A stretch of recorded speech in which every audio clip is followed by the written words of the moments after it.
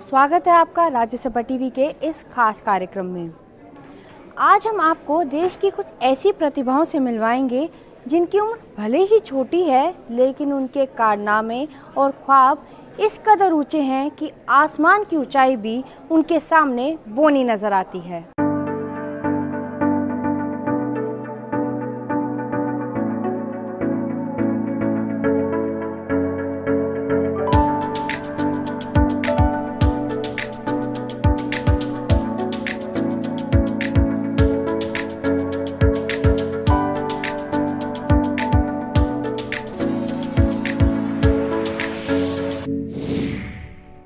नाम अर्जुन है एंड मेरी उम्र 16 साल की है। uh, मैं दिल्ली में रहता हूँ बट मैं एक स्कूल जयपुर में जयश्री परिवार इंटरनेशनल स्कूल में पढ़ता हूँ। मेरे को 2020 का बाल शक्ति पुरस्कार प्रधानमंत्री का मिला है in the innovation category so my brother and I have develop this app known Scout Me Scout Me India का सबसे पहला स्काउटिंग पोर्टल है which has been adopted by the All Indian Football Federation तो फिर मैं बहुत time से football खेल रहा हूँ, तीन साल की उम्र से फ़ुटबॉल खेल रहा हूँ। मैं हमेशा चाहता था कि मेरी कंट्री वर्ल्ड कप जीते इंडिया एक दिन वर्ल्ड कप जीते। तो इसी इंस्पिरेशन को लेके मैंने एक ऐप बनाया है ताकि कोई भी player all across the country कभी भी फ़ुटबॉल अपॉर्चुनिटी से मिस आउट ना हो। स्काउट मी पे कोई भी स्काउट या प्लेयर जाके साइन अप कर सकता है एंड अपना को रजिस्टर कर सकता है। कोई भी प्लेयर जाके अपना रजिस्टर करेगा तो वो ए के डेटाबेस पे आ जाएगा। मतलब आप टॉप अथॉरिटी के विजन में आ जाएँगे। स्काउट क्या कर सकता है? स्काउट जाके if he sees a potential talent they can register a player they can make scouting report scouting report हमारे स्काउटिंग रिपोर्ट्स कस्टम मेड है मतलब हमने कोचेज से बैठ के बना के पैरामीटर्स बनाए हैं स्काउट्स के तो scout can register players and make these reports which can then be added into this A I F F database so what we are trying to do हम लोग क्या करने की कोशिश कर रहे हैं, पूरा central pool of Indian players बनाने की कोशिश करें ताकि कोई भी कभी फुटबॉल अपॉर्चुनिटी से मिस आउट ना करे। हमारे हमारे ऐप की एक खास बात है कि हमारे कस्टम मेड पैरामीटर है कि technical tactical physical mental social तो हमने सारे एस्पेक्ट्स कवर किए हुए हैं। तो हमारे ऐप और हमारा ऐप का एक यूनिक फीचर है कि हम लोग D O B proof detect कर सकते हैं। तो अगर ए एफ़ के डेटाबेस में आप रजिस्टर्ड हैं और आपकी डी बी प्रूफ है उधर, आप कभी और चीट करने की कोशिश कर सकते हैं, हमारा ऐप ऑटोमेटिकली डिटेक्ट कर सकता है। बट हम लोग सिर्फ़ ए एफ़ एफ़ नहीं, हम बहुत सारे फुटबॉल ऑर्गेनाइजेशन लाइक बहचन बूटिया फुटबॉल स्कूल उनके साथ भी पार्टनर हैं। करेंटली हमारे पास over seven thousand scouts on our app हैं and over thirty thousand players registered on our application है। मेरा नाम विनायक बहादुर है। मैं डेफ़ हूँ। मेरे मम्मी पापा भी डेफ़ हैं। और मैं यूपी से हूँ। यूपी में मेरठ से हूँ। मैंने बैडमिंटन खेलना सात साल की उम्र से शुरू किया था। मेरे पापा ने मुझे बहुत योगदान दिया इसमें और मम्मी ने भी बहुत सपोर्ट किया इस चीज़ के लिए। मैं बहुत प्रैक्टिस करता था डेली इसके लिए। कभी कभी मुझे सफलता नहीं मिलती थी बट मैंने बहुत इसके लिए मेहनत की और मुझे अब सफलता प्राप्त हो गई। और मैं नेशनल के लिए भी सिलेक्ट हुआ हूँ। मेरे पापा हमेशा मेरे साथ आते थे जा, इसके और नेशनल गोल्ड में मैंने चार अवार्ड्स लिए हैं। सिल्वर में मुझे तीन मिले हैं और ब्राउन्स में मुझे एक मिला है। स्टेट लेवल पे मुझे बहुत सारे बहुत सारे अवार्ड्स मिले हैं। मैंने स्पोर्ट्स में जब लिया तो मैंने अपने पापा को देखा। हमेशा मैं पापा के साथ मैंने ये खेल शुरू किया। मैंने सात साल की उम्र में शुरू किया था और बहुत अच्छे से मैंने सफल, सफलता इसमें प्राप्त की है। पापा और मम्मी, दादा बहुत ज़्यादा खुश है। सभी लोग बहुत खुश हैं इस चीज़ को लेकर मेरा नाम चिराग फलोर है। मेरी उम्र सत्रह है। मैं अभी हाल ही में दिल्ली में रह रहा हूँ और प्रगति स्कूल में पढ़ता हूँ। मैं अभी अभी मुझे प्रधानमंत्री राष्ट्रीय बाल शक्ति पुरस्कार उप, उपमान्य राष्ट्रपति द्वारा दिया गया था। मुझे ये पुरस्कार स्कॉलास्टिक में दिया गया। ये पुरस्कार मैंने इंडिया को हंगरी में आयोजित अंतर्राष्ट्रीय olympiad of astronomy and astrophysics में रिप्रेजेंट किया था और मैंने गोल्ड दो गोल्ड मेडल लाए और एक एब्सोल्यूट विनर लाया। इसके लिए मुझे ये अवार्ड मिला गया।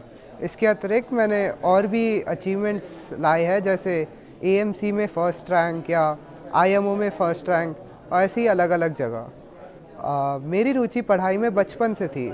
जैसे मैंने सुबह हर सुबह मैं उठता था और फिर पढ़ने लग जाता था, फिर कुछ टीवी देख के वापस पढ़ता था, इंटरनेट पे सर्च करता था। ऐसे ही मैं अलग अलग रिसर्च वगैरह करते रहता था। बीच बीच में मैंने कई एक्सपेरिमेंट भी शुरू किए थे अपने घर में ही। इससे मेरी साइंस में रुचि और बढ़ी। और नाइन्थ टेंथ में मैं पूरा पढ़ाई की तरफ़ फोकस्ड हो गया कि अब मुझे इधर ही कुछ पढ़ना है। नाइन टेंथ के आसपास मुझे नेशनल चाइल्ड अवार्ड के बारे में पता चला, जिसे अभी बाल शक्ति पुरस्कार कहते हैं। तो मुझे भी ये अवार्ड चाहिए था और मैं इसकी तरफ़ पूरा ध्यान लगाने लगा। इसके लिए मैंने ओलंपियाड में अलग अलग मेडल लाए ताकि मैं, मुझे ये पुरस्कार मिल सके। और पढ़ने के साथ साथ मैं बैडमिंटन खेलता हूँ चेस खेलता हूँ, ताकि मेरा टाइम गुजर सके। इसी के साथ मैं पढ़ाई में एस्ट्रोनॉमी में इंटरेस्टेड हूँ और कंप्यूटर साइंस में। एस्ट्रोनॉमी में मेरी रुचि तब आई जब मेरे पापा ने मुझे मेरे बर्थडे पे एक टेलीस्कोप गिफ्ट किया था। मैं उससे अलग अलग तारे देखता था तारामंडल वगैरह देख के। आ, मुझे बहुत खुशी मिलती थी मैं रात भर जागता था। आ, मैं इसी और चेस भी मैं खेला करता था उसमें भी मैंने पुणे में आ, बहुत सारे अवार्ड लाए। मैं पहले पुणे में रहता था अभी मैं हाल ही में दिल्ली आया हूँ। जय हिंद मेरा नाम परिकुल भारद्वाज है और मैं तेरह साल की हूँ। मुझे प्रधानमंत्री बाल शक्ति पुरस्कार सोशल सर्विस में मिल रहा है। मैं पिछले तीन साल से अपनी समर वेकेशंस में हाई ऑल्टीट्यूड पे माइनस टेम्परेचर में और चौदह हज़ार फिट में high altitude medical cum social services provide करती हूँ। मुझे ये इंस्पिरेशन अपने पेरेंट्स से मिली है, जो 2009 से ये काम करते आ रहे हैं।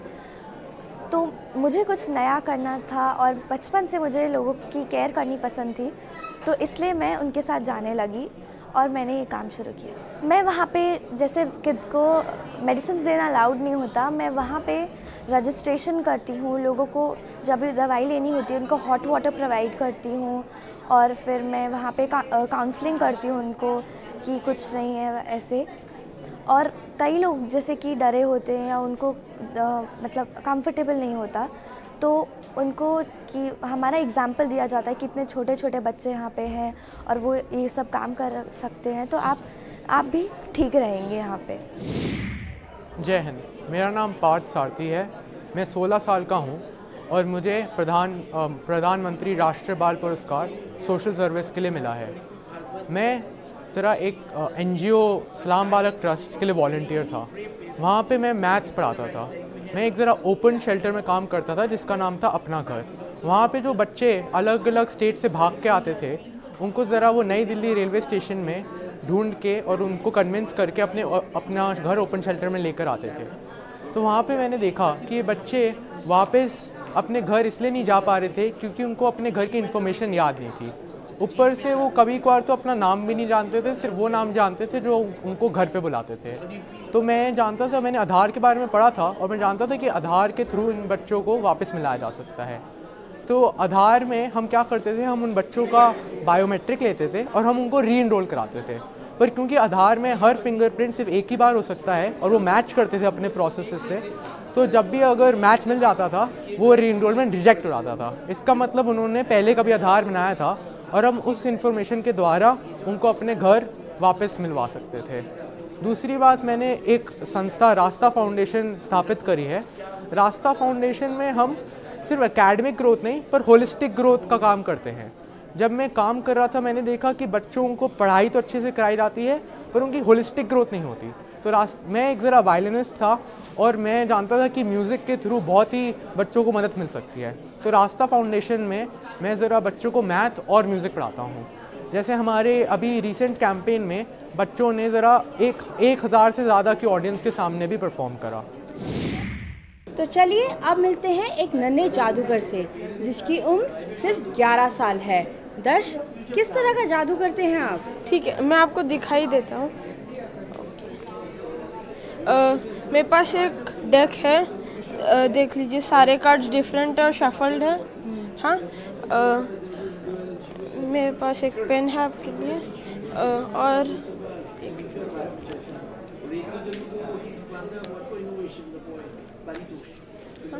आ, अब हम आपके लिए एक कार्ड लेंगे। एट ऑफ़ डायमंड्स ये इनका कार्ड है। आप इस पर साइन कर दीजिए। अच्छे से बड़ा सारा साइन दीजिए। और इस कार्ड को एकदम यूनिक बन। ओके तो इन्होंने इनका नाम लिख दिया इस पर और हम, आप मार्कर हटा सकते हैं। हम, हमें आपका एक हाथ चाहिए रहेगा। ऐसे कीजिए।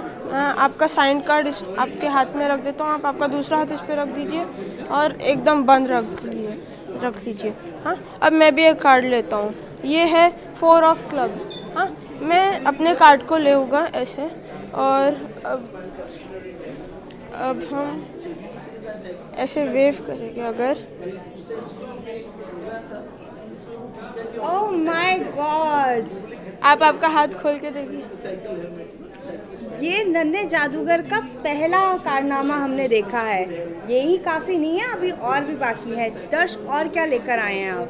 और मैं तो ये आपने जादू करने की जो कला थी ये कौन सी उम्र से शुरू की? क्या आपकी कहानी है? मैं eight and half year nine years का था तब मैंने शुरू किया था। मतलब अच्छा मैं आपको पहले ये दिखा देता हूँ। मेरे पास एक सौ रुपये का नोट है। हाँ? नॉर्मल नोट है। हाँ?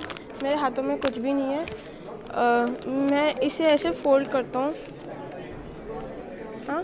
तो I have a folded hundred rupees note over here actually मैं बहुत ट्रैवल करते रहता हूँ डिफरेंट कंट्रीज़ शोज़ करने के लिए और मैं अभी जल्दी यूएस भी जाने वाला हूँ तो इंडियन करेंसी वहाँ पे काम नहीं करती है ना? ओह my god don't tell me कि आप इसको डॉलर्स बना देंगे। I not tell you I show you ये तो बहुत ही अजब है। मतलब आप इंडियन करेंसी को डॉलर्स में कन्वर्ट कर दिया my god this is truly amazing कहाँ से सीखा ये? क्या था आपका? ये मैं ये सब अपने आप सीखा हूँ ऐसे वीडियोस देखते देखते। और फिर रिसेंटली लास्ट ईयर मैंने एक कन्वेंशन अटेंड किया था जो वर्ल्ड स्टॉप मैजिशियंस कन्वेंशन है। मैं वहाँ पे इंडिया को रिप्रेजेंट कर रहा था as and I was the youngest magician over there और मेरी एक यूएसपी है कि मैं कोई भी शो करता हूँ हवा बोर्ड पर बैलेंस करके करता हूँ। सो आई balance on a hover board and I perform a show आपको ये मैजिक करने के पीछे क्या इंटरेस्ट रहा? बचपन में तो हम भी करते थे मैजिक लेकिन इस तरह से मैजिशियन कभी नहीं बन okay. पाए। uh, तो मैं एक बहुत टेक्निकल इंसान हूँ। मेरे को एक्सपेरिमेंट्स वगैरह और वो सब बहुत अच्छे लगते हैं। तो हॉलीडेज में ऐसे ही वीडियोस देखते रहता हूँ नए नए एक्सपेरिमेंट्स का। तो ऐसे ही एक दिन एक वीडियो आया इंटरनेट पे तो देखा, सोचा देख लूँ। और देखा, तीन चार बार देखा उसे, समझा। और फिर घर के मतलब किचन के ही आइटम्स लिया, और शाम तक मैं उसे सबके सामने करके दिखा दिया। ऐसा दो तीन दिनों तक चला, और फिर मेरी मम्मी को लगा कि ये कुछ तो अलग है। तो वो मेरे को एक मैजिक का किट दिलाने गई, और फिर एक हफ़्ते में I was like done with hundred magic trick अब कितने मैजिक्स कर लेते हैं आप? मतलब मोर देन हंड्रेड होएगा आई नेवर काउंटेड और स्कूल में भी जब जाते होंगे तो हाँ, बच्चे आपको मैजिक मैजिक बॉय या कुछ ऐसे बुलाते होंगे आपके फ्रेंड्स हाँ। बोलते हैं मैजिशियन हेलो ऐसे बोलते हैं। और मैं स्कूल का चाइल्ड प्रोडिजी हूँ डीपीएस अचीवर हूँ और मेरे को दो साल से हंड्रेड परसेंट स्कॉलरशिप भी मिल रही है स्कूल से। और मेरा स्कूल भी मुझे बहुत सपोर्ट कर रहा है मेरी मम्मी मुझे बहुत सपोर्ट करती है और मेरे मेरे पेरेंट्स मेरे नानू नानी माँ सब लोग मुझे बहुत सपोर्ट करते हैं। अब आप अपना ये मैजिक घर में किसी को सिखाते हैं कि सबके ऊपर इस्तेमाल करते हैं? सिखाता नहीं हूँ। A magician never reveal it secret तो घर पे सबके ऊपर ये इस्तेमाल किया जाता हाँ, है? पहले मैं कुछ भी सीखता हूँ घर वालों को दिखाता हूँ और फिर और अच्छा प्रैक्टिस करता हूँ। कहते हैं ना, अब practice makes a man perfect तो अगर प्रैक्टिस नहीं करोगे तो आज मेरे को शायद ये अवार्ड नहीं मिलता। ये वो वीर हैं, जिन्हें प्रधानमंत्री बाल पुरस्कार से नवाजा गया है। इनकी कहानियाँ अलग है, इनके हौसले बुलंद हैं। इनकी कहानियाँ हमें जीवन की एक नई सीख देती हैं। यही कि कोई भी काम करने के लिए कोई तय उम्र नहीं होती। बस ज़रूरत है हौसले की जज्बे की और साहस की। चलिए जानते हैं इनकी कहानियाँ, इनकी की ज़ुबानी। बहुत बहुत स्वागत है आप सबका राज्यसभा टीवी में। सबसे पहले आप बताइए, आपके हाथ में ये पेंटिंग है। क्या करती हैं आप? आपको किस चीज़ के लिए अवार्ड मिला है और आपका नाम क्या मेरा नाम रिया चैना मैं भोपाल से आई हूँ। मुझे ये अवार्ड आर्ट एंड कल्चर की फ़ील्ड में मिला है। मैं अभी तक 150 पेंटिंग कॉम्पिटिशन्स में पार्टिसिपेट कर चुकी हूँ, जिनमें से मुझे 95 कॉम्पिटिशन में विनर रही हूँ। मुझे अभी तक पेंटिंग कॉम्पिटिशन्स में एट इंटरनेशनल प्राइज़ मिल चुके हैं और 18 नेशनल एक government of India ministry of earth science ने एक नेशनल पेंटिंग कॉम्पिटिशन कराया था। उसमें भी मुझे सेकेंड प्राइज़ मिला था डॉक्टर हर्षवर्धन जो अभी केंद्रीय मंत्री है, विज्ञान भवन में। जब मैं दिल्ली आई थी तो विज्ञान भवन तो मैं जब पीएम हाउस के सामने से निकलना पड़ता था तो तब मेरा बहुत मन करता था कि मैं नरेंद्र मोदी जी से जाके अंदर मिलूं, उनसे बातचीत करूँ और उनको पेंटिंग गिफ्ट करूँ। और हमने राष्ट्रपति भवन के सामने भी जाके फ़ोटोज़ खिंचवाई थी, तब भी मेरा मन कर रहा था राष्ट्रपति भवन के अंदर जाने का और राष्ट्रपति जी से मिलने का। आज आपके हाथ में ये पेंटिंग है, ये आपने कब बनाई, क्या है? ये मैंने नरेंद्र मोदी माननीय प्रधानमंत्री जी की पेंटिंग बनाई है। इसमें उनकी माँ और उनकी फ़ोटो है। उनकी माँ उन पर तिल, उनके तिलक लगा रही हैं। तो ये मैंने अभी यहाँ पे आने से पहले ही बनाई है एक दो तीन दिन में। क्या उम्र है आपकी? मैं सिक्सटीन ईयर्स की हूँ। कब से कर रही हैं आप पेंटिंग मैं फिफ्थ क्लास से पेंटिंग कर रही हूँ। और पेंटिंग के पीछे आप क्या सोचती हैं? किस तरह की पेंटिंग्स करती हैं? ये तो हमने देख ली। क्या इसी तरह की करती हैं या कुछ इमेजिनेशन या मैं थी, ज़्यादातर थीम पेंटिंग्स करती हूँ जो लोगों को रिसेंट टॉपिक्स पे अवेयर करे। जैसे कि Beti Bachao save girl child और save environment save water Swachh Bharat, ऐसे जो रिसेंट टॉपिक्स पे उसको अवेयर करने के लिए। और अभी रिसेंटली मुझे वुमेन एंड चाइल्ड डेवलपमेंट ने बेटी बचाओ, बेटी पढ़ाओ का ब्रांड एम्बेसडर बनाया भोपाल का, जिससे मैं लड़कियों को आगे बढ़ा सकूँ और उनको पढ़ाई लिखाई के लिए जागरूक कर सकूँ। सच्ची में बहुत ही लाजवाब कहानी है। चलिए दूसरी कहानी की तरफ़ चलते हैं। आपका नाम? सुकृति चिड़िपाए सुकृति आपको किसके लिए अवार्ड मिला है? कौन सी कैटेगरी में? uh, मैं कैलकटा वेस्ट बंगाल से आई हूँ और मुझे सोशल सर्विस कैटेगरी में ये अवार्ड दिया जा रहा है। क्या करती हैं आप? तो मैं क्लास टेन में थी जब मैंने अपनी एक ऑर्गेनाइजेशन की नींव रखी संगम नाम का। हम अंडर प्रिविलेज चिल्ड्रन को एजुकेशन प्रोवाइड कर, करने करने का काम करते हैं। We donate exercise books text books story books stationery etcetera और अब दो तीन सालों में हम भारत के छः सिटीज़ में अब एक्सपैंड कर चुके हैं।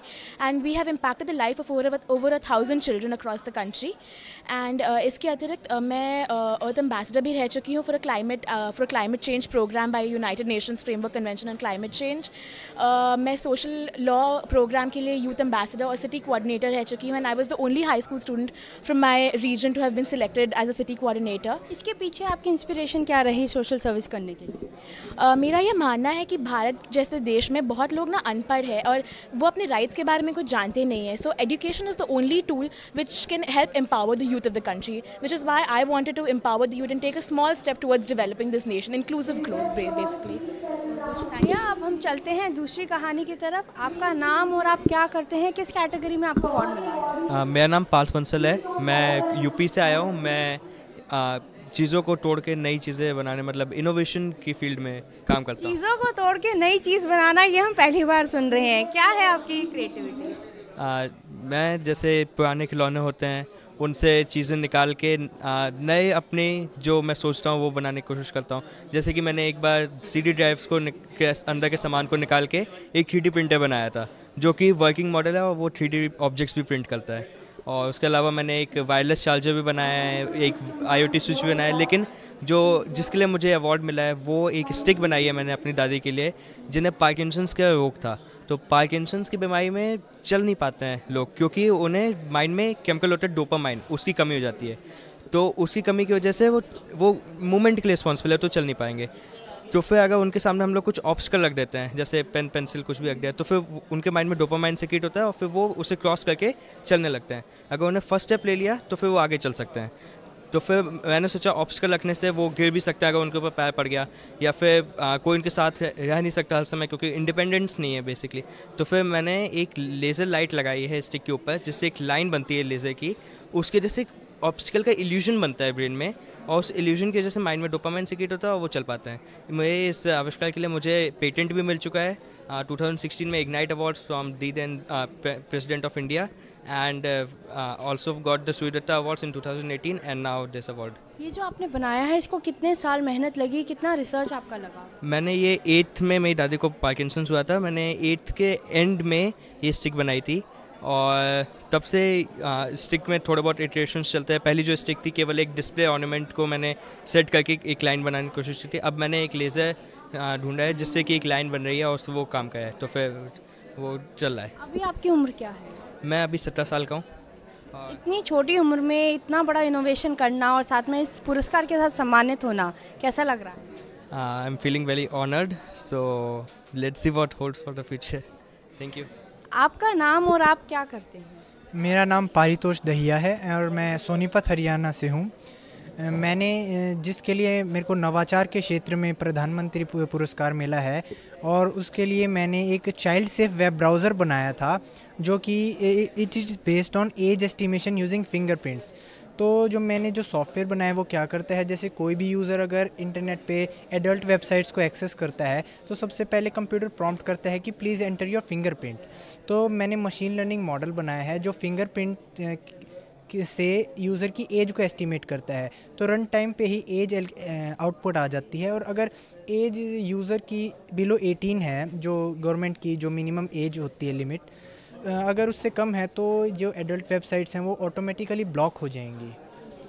इसके पीछे आपकी सोच क्या थी? क्यों आपको इसकी जैसे जहाँ पे भी जाते हैं जैसे बच्चों को बात करते देखते हैं तो काफ़ी वलगर लगता है कि उन्होंने क्या नेट पे देखा क्या बात करी। और बायोमेट्रिक्स है उसका हम डे टू डे इतना जैसे क्राइम इन्वेस्टिगेशन में अटेंडेंस मार्क करने में फ़ोन अनलॉक करने में यूज़ करते हैं तो इसका चाइल्ड सेफ़ वेब ब्राउजिंग के लिए भी कर सकते हैं। तो मेरे यही भावना रही थी इसके विचार के पीछे। बहुत शुक्रिया। वाकई में ये कहानियाँ सुने तो ज़रूर जीवन में कुछ सीखने को मिलता है कि कुछ भी काम करने के लिए सिर्फ़ एक अच्छी सोच और जज्बे की ज़रूरत है।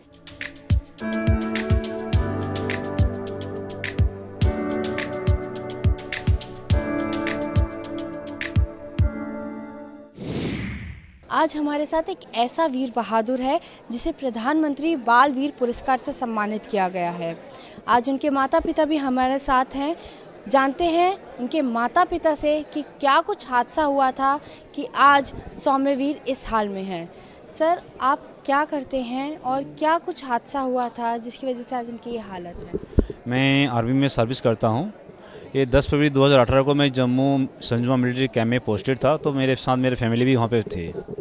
ये 10 तारीख को अर्ली इन द मॉर्निंग लगभग पौने पाँच बजे तीन heavy arm terrorist army quarter के अंदर अटैक किया था। तब जब उसने उन्हें अपने दरवाजे को ब्लॉक करने के लिए घर के अंदर स्टील बॉक्सेस और पानी का ड्राम था, वो ले, पुश करके लेकर दरवाज़ा ब्लॉक कर तब तो टेरिस्ट ने उनके दरवाजे तक पहुँच गए थे। उस दरवाजे टेरिस्टों ने उस दरवाजे को तोड़ने की कोशिश की। तो समुद्र को ला कहीं उन लोग दरवाज़ा ना तोड़ दे नहीं उन्होंने उस बक्सा को पुश करके वहीं पर सामने लेट गया जैसे वो टेरिस्ट ने उस दरवाजे को तोड़ नहीं पाया तो उन्होंने इस दरवाजे के ऊपर से गोली चलाया। उस गोली से भी जब उसको कोई काम नहीं हुआ, सक्सेस नहीं हुआ वो लोग, तब उन्होंने घर के अंदर ग्रेनेड फेंका, जिसके कारण मेरा लड़का उसकी सिर पे दो गोली लगा था, चेस्ट पे लगा था। उसके बाद लड़का को उधमपुर में दो टाइम उसका ब्रेन का सर्जरी हुआ है। उसके बाद वहाँ से रेफ़र किया आर्मी अस्पताल आर दिल्ली कैंट में। वहाँ पे उनका दो टाइम रेफरेंस हुआ है। तो फोर्टीन ऑपरेशन का मेरा लड़का आज के डेट में फ़िज़िकल एंड फिजिकली डिसेबल्ड हो गया है। अभी भी उसकी ब्रेन के अंदर और लंग्स के अंदर अभी भी गोली की टुकड़ा है। डॉक्टर का ओपिनियन के हिसाब से उसको लाइफ टाइम वो कैरी करना है और आगे उसको ऐसे ही जीना है। इनकी जो कहानी है वो वाकई में बहुत लोगों के लिए एक प्रेरणा है। जिस तरह से इन्होंने आतंकियों से आ, साम, आतंकियों का सामना किया किसी की बस की बात नहीं है। चौदह साल की उम्र में इतना बड़ा काम करना वाकई में अपने आप में बिल्कुल मैं मैं एक फौजी हूँ। मुझे पता है मुझे अगर मेरे सामने टेस्ट गोली तो मुझे कैसे टैकल करना है। लेकिन मेरा लड़का एक अनट्रेंड है। इस उम्र में गोली के सामने किसी ने इस तरीके काम करेंगे तो बहुत ही मतलब बिना ट्रेन के ऐसा करना हर किसी की बस की नहीं बात नहीं है। मुझे लग रही है स्पेशल होते हैं जो फैमिली की परिवार होते हैं। आपका मैम आपका बेटा वाकई में बहुत स्पेशल है। इतनी कम उम्र में इतना वीर बहादुर बहादुरों वाला काम करना क्या कहना चाहेंगे?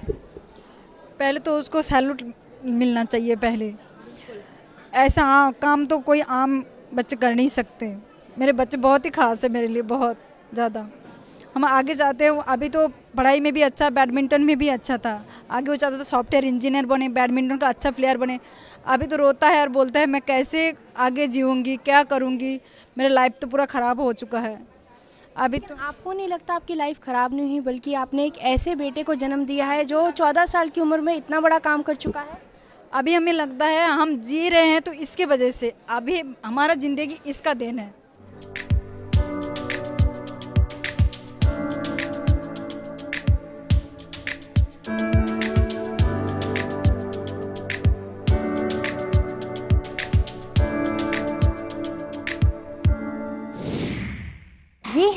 वीर सपूत जिनकी अपनी कहानियाँ हैं, अपने हौसले हैं। लेकिन प्रेरणा सिर्फ़ एक कि अपने देश के उज्जवल भविष्य के लिए अपनी ओर